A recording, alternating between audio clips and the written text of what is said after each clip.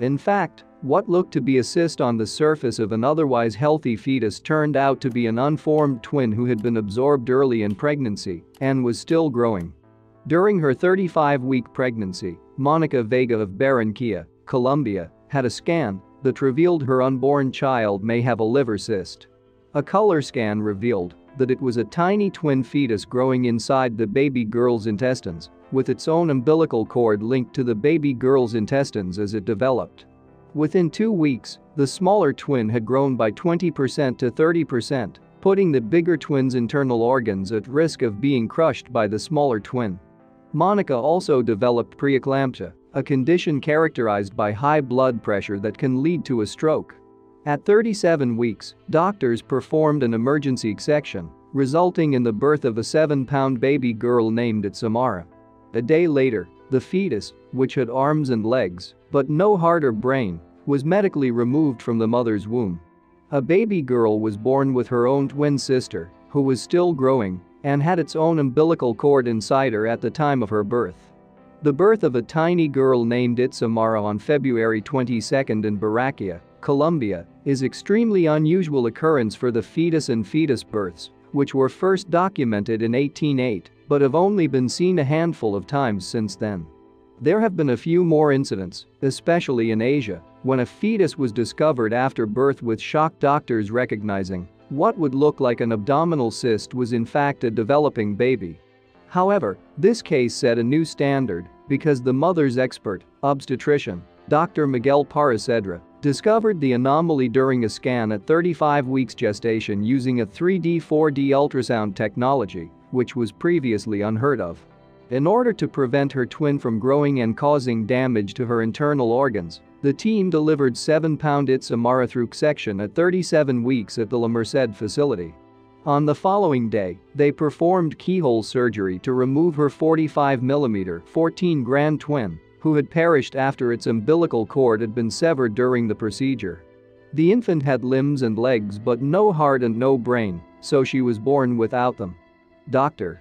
Parra Saavedra said that Itzamara was pregnant with her sister and that this was the root of the problem. Now, a month after the incident, Itzamara is in excellent health, with little evidence of any injury or effect to her abdomen.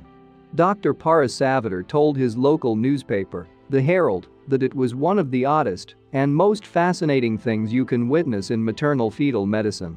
After the tale was first reported by local television networks, Los Informantes Monica Vega, 33, was directed to Dr. Parra Saavedra, a high-risk pregnancy specialist who had previously worked in Barcelona.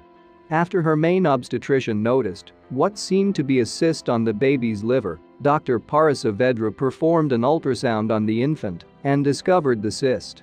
He discovered that it wasn't a cyst after all, but rather another little fetus with its own umbilical cord, thanks to the use of a colored Doppler which provides a multicolored view of the blood vessels for greater clarity. It's possible to have twins while still in the womb because of late cell division, which means that the twins do not entirely separate. The larger of the two connects to the mother through the placenta, while the smaller of the two attaches to the vessels of its twin. As the larger twin increases in size, the smaller twin is absorbed into the abdominal cavity. Dr. Parra Saavedra was taken aback but not to the extent that Monica was taken aback because they'd never heard of it or seen it before. And in fact, most people are unaware that something like this might happen to them, he said to the Herald. That conveying what they're going through can be tough. This happens once in a million times, he said. It took some convincing, but after we presented them with images and videos and scientific data, they were able to comprehend the situation and agreed to enable us to proceed with the appropriate actions to handle it. Dr. Parra Saavedra was a close relationship with the media following his appearance as a high-profile pundit when Zika swept through northern South America in 2016, reached out to local journalists who filmed the birth and the subsequent surgeries, providing an unprecedented look at each step of the process. The physicians sought to delay the birth as long as possible in order to avoid the hazards connected with an early birth. However, after two weeks, a scan revealed that the underformed twin had grown 20% to 30%, posing a threat to Itzamara's health, prompting the doctors to perform exection on the day after Itzamara's birth. The surgeons performed keyhole surgery to remove her 45mm, 14 grams twin, who had perished after the umbilical cord had been severed during the procedure. Since Monica had been diagnosed with preeclampsia, a dangerously high blood pressure condition that can result in a stroke after childbirth, she had to be continuously monitored. They wanted to test whether they could keep the pregnancy going for as long as possible in order to avoid the hazards connected with premature birth. However, after only two weeks, a scan revealed that the underdeveloped twin had grown 20% to 30%, an amazingly quick increase that put Itzamara's health in grave danger. Furthermore, Monica was diagnosed with preeclampsia, a condition characterized by dangerously high blood pressure that can result in a stroke during pregnancy. The team gathered to prepare for the cesarean section and they were prepared to do laparoscopic surgery once Itzamara had been stabilized 24 hours after the procedure began. Because the infant was dependent on its sister for survival, Dr. Parra Saavedra said that once the umbilical cord of the linked twin was cut, the baby's life came to an end. Monica and her husband, according to Drive. Parra Saavedra, were surprised and in disbelief at first, but once we showed them images, films, and scientific data, they recognized the phenomenon. Mrs. Vega and her husband have returned home and are content with it tomorrow, but they're still in shock. What exactly are fetus in fetu twins, and what are the known cases of this phenomena? It's possible to have twins while still in the womb because of late cell division, which means that the twins do not entirely separate. The larger of the two connects to the mother through the placenta, while the smaller of the two attaches to the vessels of its twin. As the larger twin increases in size, the smaller twin is absorbed into the abdominal cavity. On January 1, an article appeared in the British Medical Journal describing the fetal in utero concept for the first time. It's believed that they occur in one out of every 5,000 newborns. The majority of those who have been documented were born in Asia and were diagnosed after they were born. It's a rare phenomenon characterized by the existence of one of the twins in the body of the other, and it occurs when two identical twins are born at the same time. Despite the fact that it most usually occurs in the retroperitoneal area, it's been recorded in a variety of other sites as well. This article describes two cases of fetus in fetu in which occurred the retroperitoneal area and the other which occurred in the sacrogel area, respectively.